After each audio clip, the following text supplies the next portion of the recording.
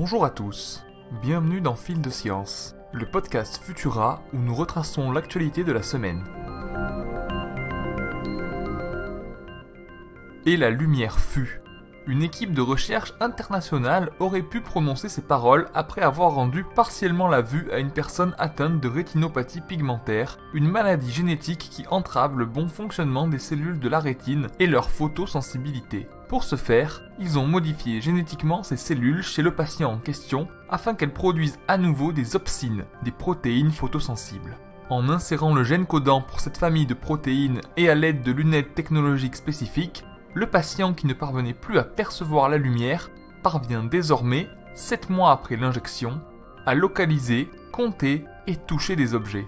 Pour mettre cela en évidence, les scientifiques ont fait passer plusieurs tests aux patients qui consistaient à évaluer sa perception et l'usage de ses sens avec différents types d'objets. Dans 92% des cas, le patient a réussi les tests avec succès pour des objets de grande taille comme un cahier. Les résultats étaient plus décevants avec 36% de réussite pour des petits objets comme une petite boîte d'agrafes. Ce cas clinique est très encourageant et la société à l'origine de la prouesse thérapeutique devrait bientôt financer un essai de phase 3 pour évaluer plus finement la balance bénéfice-risque de cette intervention chez d'autres malades. En République démocratique du Congo, les autorités, sous l'œil avisé des volcanologues, s'inquiètent d'une éruption prochaine du stratovolcan Niragongo. Des signes précurseurs comme la forte activité sismique, les fissures dans la ville de Goma et les mesures de déformation du sol dans la région laissent penser qu'une éruption est pour bientôt. Pour autant, impossible de connaître l'instant de la catastrophe avec une précision parfaite. Principe de précaution oblige, compte tenu des risques pour la population, la ville de Goma, qui compte 600 000 habitants, est en cours d'évacuation. Plusieurs scénarios sont envisagés par les scientifiques. Dans deux d'entre eux, une éruption de lave détruirait une partie de la ville. Mais dans le troisième, une éruption phréato-magmatique se produirait dans le même temps qu'un séisme, ce qui engendrerait, par un phénomène de brusque décompression, une éruption limnique, c'est-à-dire un relâchement d'une énorme quantité de dioxyde de carbone et de méthane, asphyxiant tous les organismes vivants aux alentours.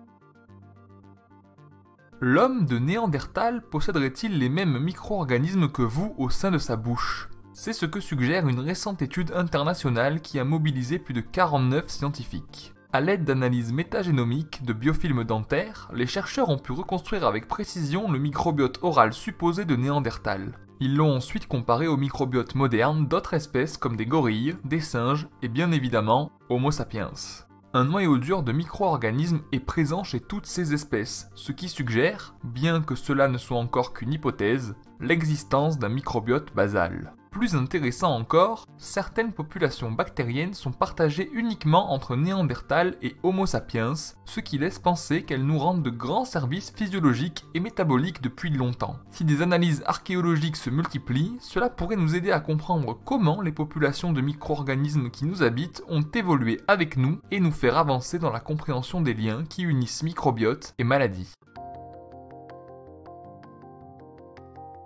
Et si je vous disais que sans les champignons, tous les végétaux terrestres que vous connaissez seraient absents? Une hypothèse ancienne avait été formulée à ce sujet et vient d'être confirmée par des expériences conduites par une équipe de chercheurs internationales. Nous savons que les plantes actuelles sont divisées en deux catégories. Les plantes dites vasculaires, qui possèdent tiges et racines, et les plantes non vasculaires, qui n'en possèdent pas, que l'on nomme bryophytes. En étudiant un représentant actuel des bryophytes, les scientifiques se sont rendus compte que, comme chez les plantes vasculaires, un certain gène permettait la symbiose, via le transfert de lipides, entre les champignons et les bryophytes. Lorsque ce gène était inactivé grâce à des techniques de biologie moléculaire, la symbiose échouait, ce qui prouve qu'il est bien indispensable au transfert de lipides susmentionnés. Nous savons donc une chose sur l'ancêtre commun des différentes plantes qui colonisent actuellement la Terre, il échangeait des lipides avec des champignons il y a 450 millions d'années.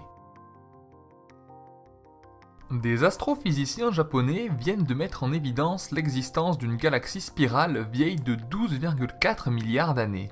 Grâce à des technologies de pointe et à l'évolution des modèles théoriques, ces chercheurs ont pu capter des photons provenant de cette fameuse galaxie nommée BRI 1335-04-17 lorsque notre cosmos était encore un enfant en bas âge de 1,4 milliard d'années. Cette découverte bouleverse le champ de l'astrophysique et de nouvelles observations et hypothèses théoriques devront être apportées pour avancer dans notre compréhension de l'évolution des galaxies et de l'univers. Les images de l'impressionnante galaxie BRI 1335 04 17 sont à retrouver sur Futura, bien entendu. Pour ne rien manquer de l'actualité scientifique, rendez-vous sur les plateformes de diffusion pour vous abonner à Fil de Science et à nos autres podcasts. Si vous souhaitez soutenir notre média ou simplement accéder à Futura sans publicité, découvrez nos nouveaux abonnements disponibles sur Patreon. On se retrouve vendredi prochain à 18h30 avec toujours plus de nouveautés scientifiques. Bon week-end à tous.